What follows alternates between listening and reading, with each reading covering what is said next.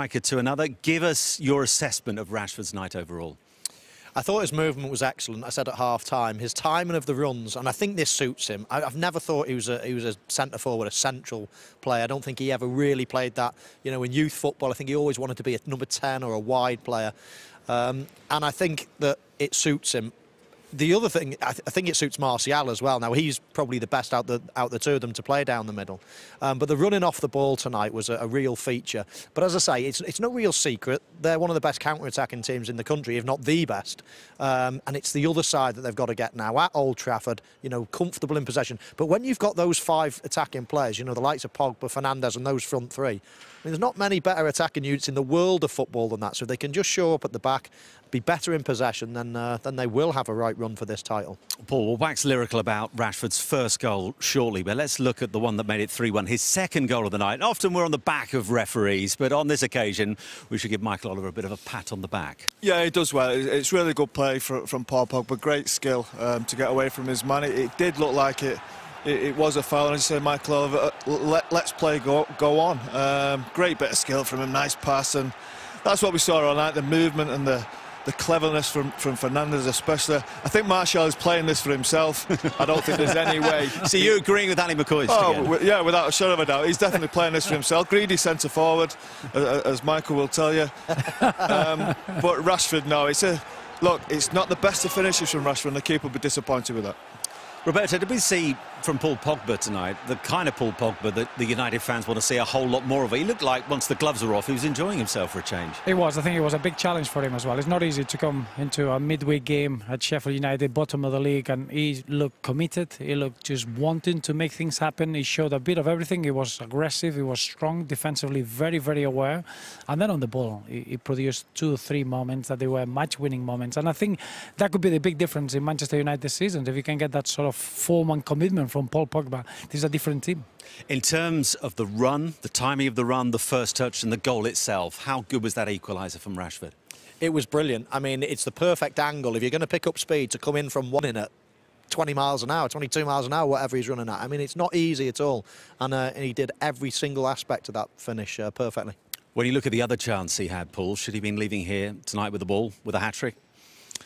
Yeah, he probably should have. He had quite a few chances actually. He had a great chance in the first half as well that he, he probably should, should have scored. Onto his left foot, away from the defender. I mean, he's he's moving great with the ball. His his touch is great. Um, you know, you'd still question his finishing. You know, even his two finishes today, one was just pure power that he didn't know where the goalkeeper was, and the second one was pretty average finish, wasn't it? Really, goalkeeper's fault. Um, but his general play and his timing of the runs is exceptional. Roberto, what stood out for you in terms of Rashford this evening? I think is that uh, that it, it weighs uh, uh, something on your shoulders when you are the striker. You are the man that you need to get the, that final touch. Obviously, is, is Sheffield United the one that starts the game on the front foot, and you had that moment. Um, as as Michael was was highlighting, the movement was exceptional, but that just in front of goal, it looked confident. It, it just took a few minutes against Leipzig in the Champions League to score a hat trick. It's just this season for me, I've seen a more mature Rashford, not just at Manchester United, but for England as well well, and you can see that he's growing all the time. When you got that pace and then that composure in front of, ball, uh, of the goal, it makes it a, a, very special striker. Martial looking frustrated at times. He was making the runs but not getting the service. Eventually he gets it from Paul Pogba. Was it deliberate service to make it 2-1? Should ask Ali. I mean, certainly it was a deliberate um, run from, from uh, Martial. You can see him actually pointing across um, to Pogba in the build-up, and he was all at, at, this all night. See, see the difference though between the the Rashford run and the Martial run there. Rashford had loads of momentum, picking up his speed as he ran across the line, whereas Martial's having to almost just check from staying onside here. It's almost like a step and then back in. So little short bursts, uh, very different to be from a, a central uh, forward to, to, to, to, come on, someone coming in from wide. Um, but there was no question he was ready for it. He was waiting for that moment, ball to come across, step onside and make his run. Uh, he impressed me tonight because I don't think, again, I don't think he's a, a, a natural centre forward, but his little movements, I mean, in the first half, we were right next to it. Some of the movement between Martial and Rashford was brilliant. Right, let's hear from the Manchester United boss, Ole Gunnar Solskjaer, is... And we'll talk about what's possible for United over the course of the rest of the season of the boys shortly. But first of all, Roberto, he mentioned there at the start of that interview how Sheffield United in the latter stages made life uncomfortable for them. How did they do that?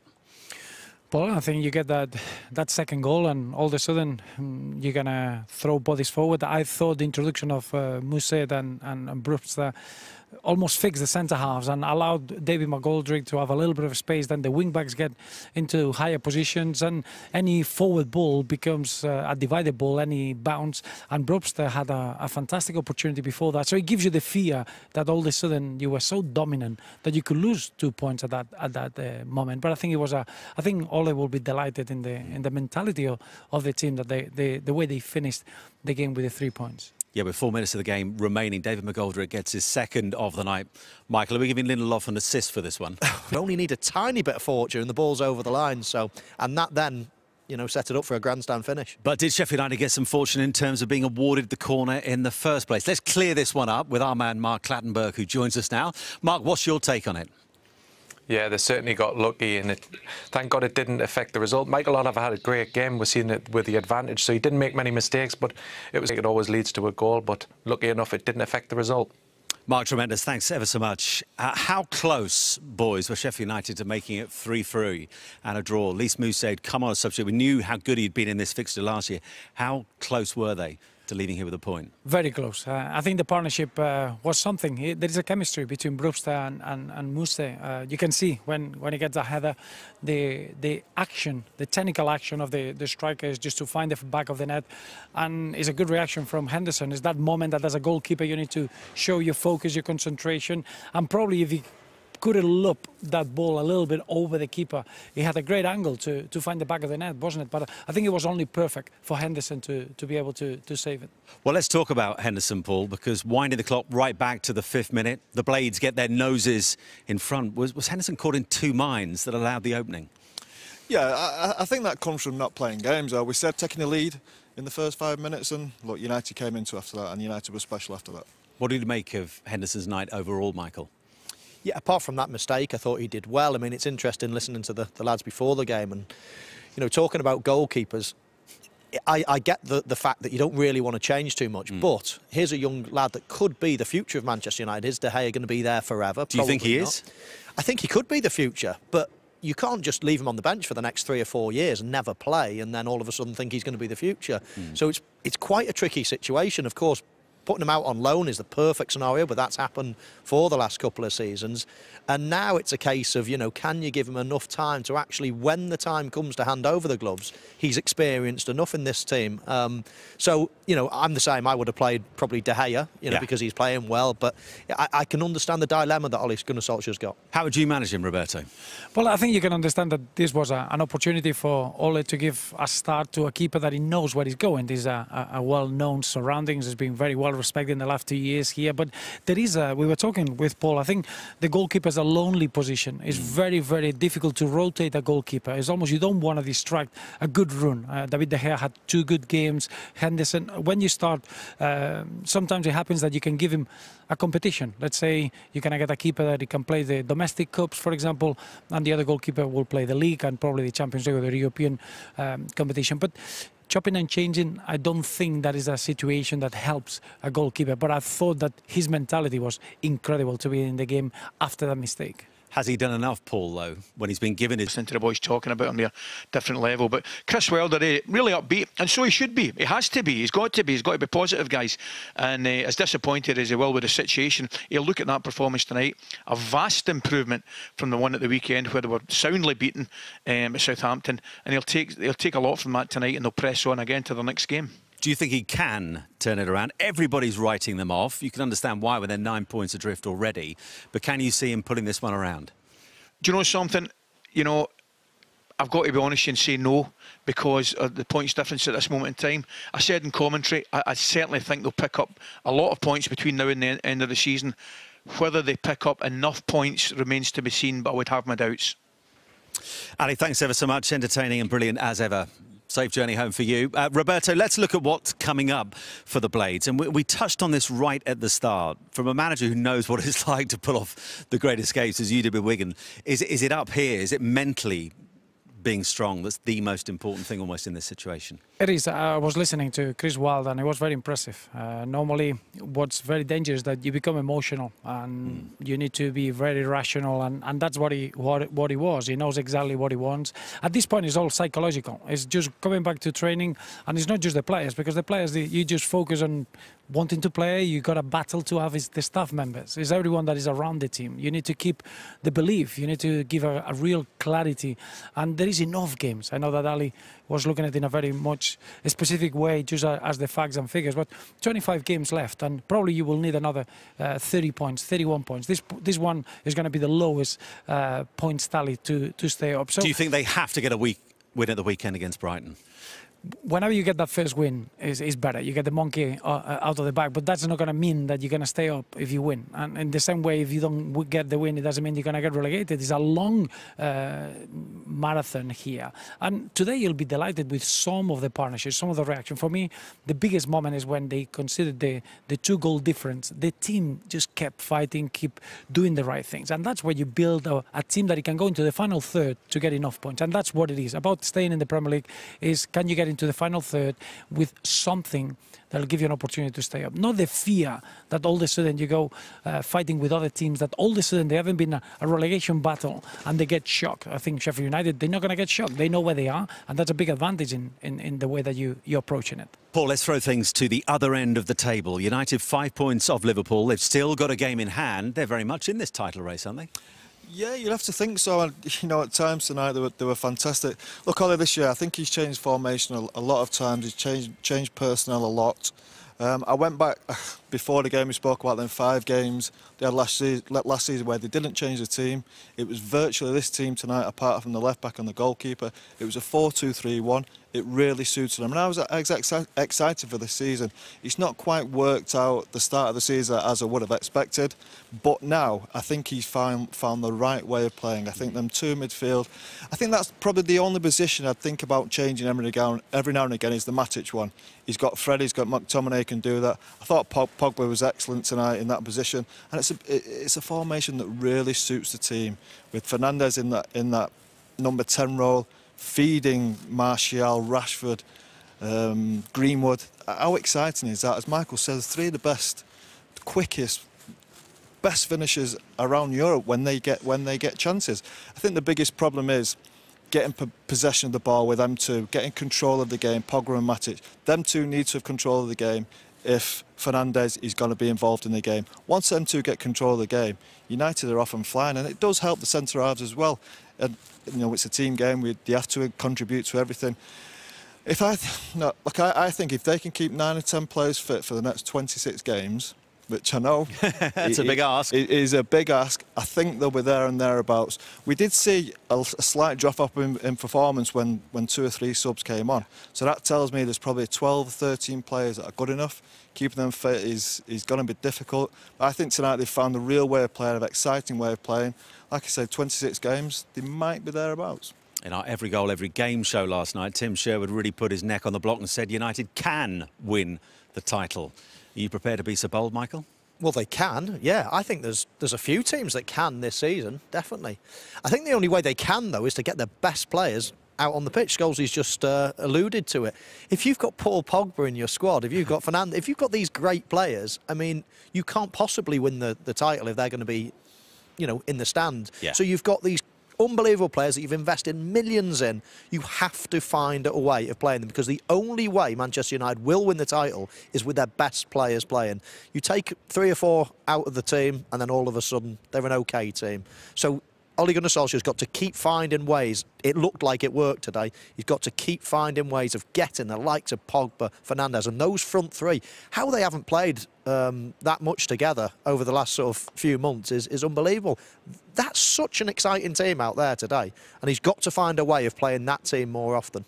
Will he do it over the course of the rest of the season? We've had a really enjoyable three nights here on. What are we expecting to happen picks-wise over the course of the festive period? Any of those games, particularly for you, Roberto, stand out?